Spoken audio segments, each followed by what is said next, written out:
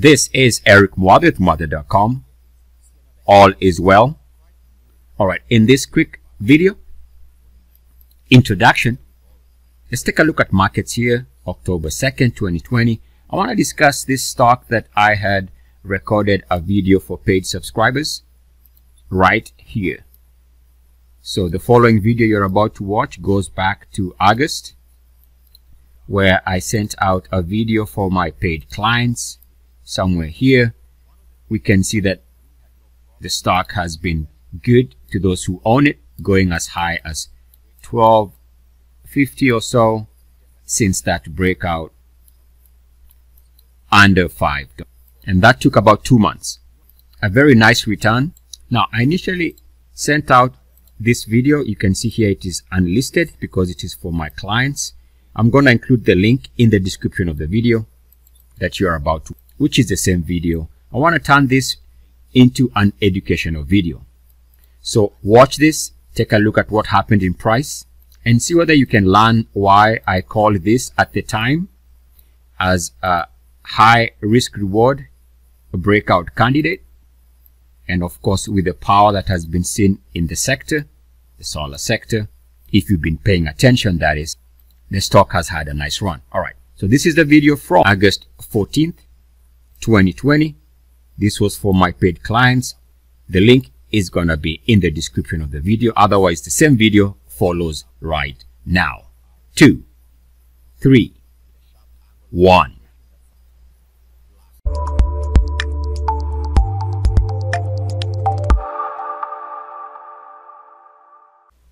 This is Eric Muathe, Muathe.com.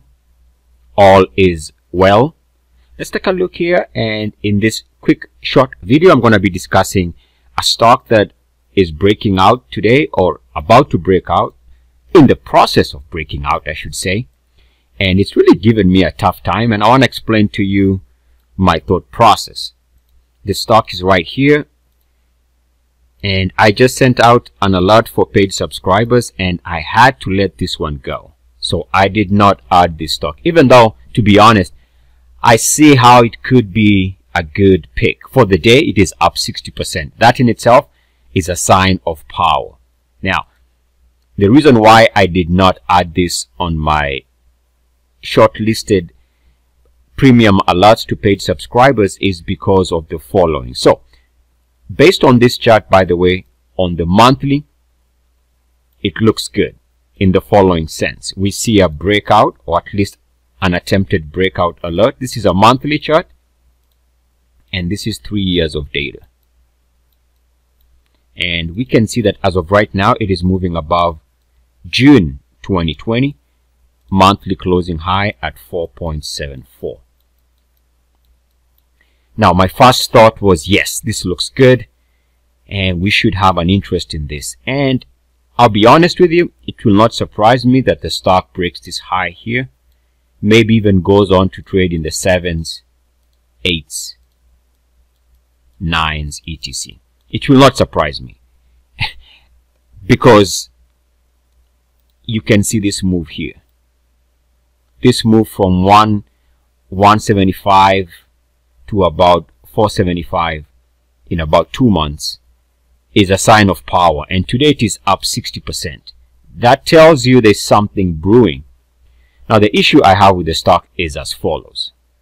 And that's just something that sometimes we just have to let go of good candidates because of the following. This is the high at about 6 last month and this is the low for this month. Know, so it's taken a couple of weeks. In fact, let's take a look at the weekly. Let's go to the weekly. So I did spend some time looking at this and I don't like the fact that it touched a high of 6 and within 3 weeks was trading at 275. That's a loss of a huge chunk of the gain. So that tells me it has a probability of doing something similar to this, a reversal, sharp, huge reversals. Now, as I always mention in my videos, one of the things that we need to be always on the lookout is what I call ugly, even though there's no such thing, but it helps visually explain how an instrument does not have that staying power, doesn't hold on to gains, is another way of putting it. So that's the only reason to be honest. The stock itself looks good. The only reason is it tends to lose gains very easily. And I don't want to put my subscribers through this type of a reaction. And we can see on the two two year weekly. Now this is not two years of weekly data. What we can see here is we see another instant where it tried to move in the beginning part of 2019. Very volatile. Two up weeks would go on to lose all of those gains. This is what I'm talking about. This is what I don't want to put my subscribers through. And then had another fake move in a sense because it had a good gain for the week, but it all evaporated by the end of the week. It was trading here.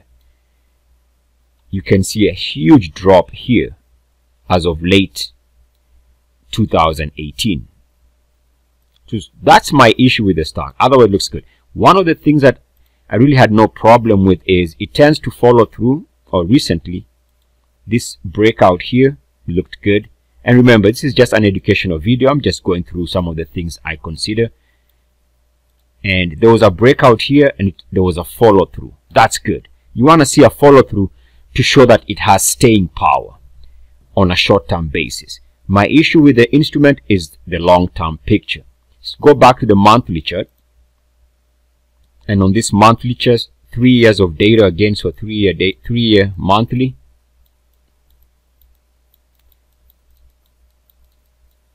We can see another period of a loss. Huge reversals. So this is something's been going on. This is in 2017 had this massive plunge towards late 2017 another plunge loss of gains as we've seen here on this month so it tends to do that now one of the things I should have mentioned that I do like, and I think I might end up regretting this somewhat, is even though I've seen so many breakouts over the last 20 years, it's all good. Even if it goes on to trade higher. But one of the things that I think could ignite the move is if and when it moves above 69.1.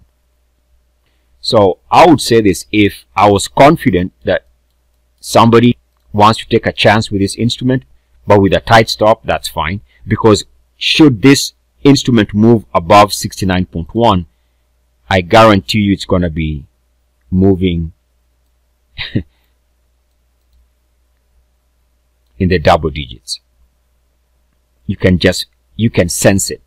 Also we have this entry above RSI 50 was with a sharp angle of penetration. That's something else I don't talk about a lot but it's gonna be in my videos in my playlist. So a sharp angle of penetration, I would anticipate another sharp angle of penetration when this instrument, if and when it moves above RSI 69.1 on the monthly, expect a massive blast in prices. Now, of course, the first order of business here is to hold above the monthly buy point from June. And that is at 4.74.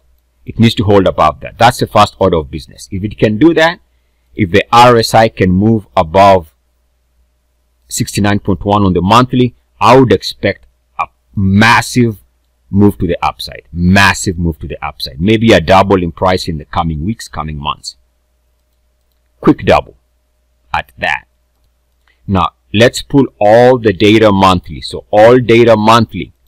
I hope you can see it we have just a behavior that I particularly do not like to see in an instrument.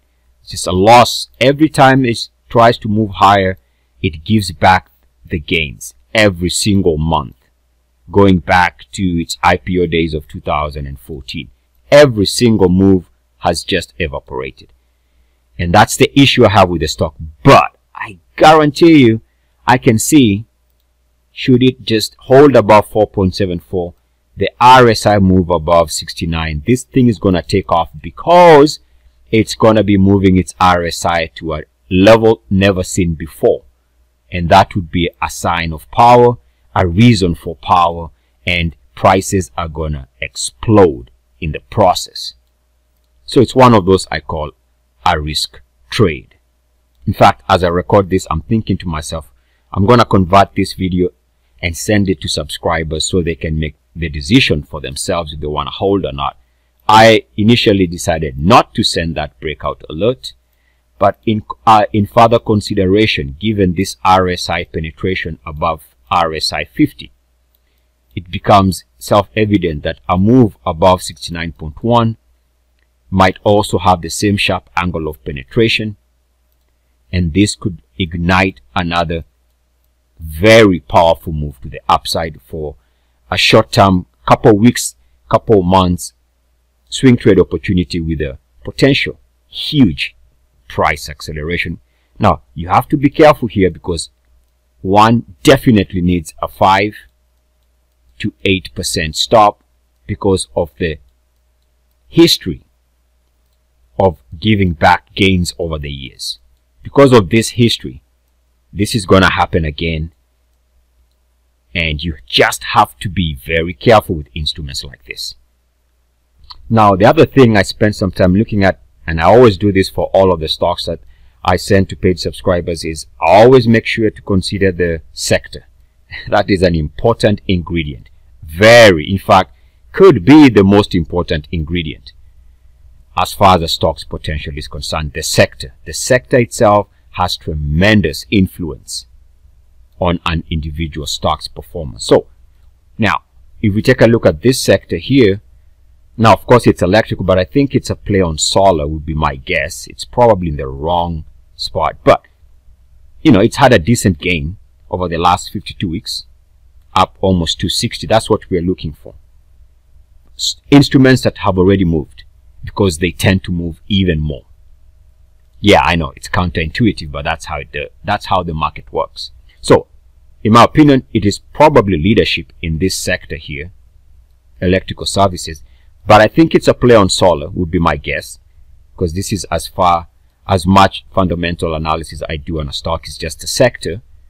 The name itself might be an indi indicator that it is a play, a solar play. We know that solar stocks have been huge. For example, solar alternative sector stocks. Of course, we know this has been moving. Uh, this has been moving. We also know that this has been moving.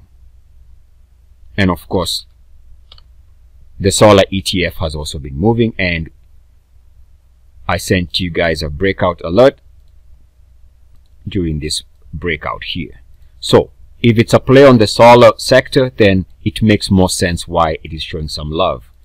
So I'm going to convert this from a educational video. It's going to become educational slash breakout alert for paid subscribers. Let me process this and send the video to you. We'll see how it goes as far as the stock itself is concerned. It needs to hold above 4.74 and also needs to push its RSI eventually above 69.1. If it does, I would expect a quick move, sharp, strong move to the upside. As mentioned, the only way to play this is from a defensive point of view. Make sure you have a stop because of the history of failure to hold on to gains. There is your market. Highlighted is the solar ETF. And this is my daily tracking and the stock is right now trading at 506 up about 60% you decide whether you have an interest or not this is Eric Muathe with Muathe.com love and light light and love. Namaste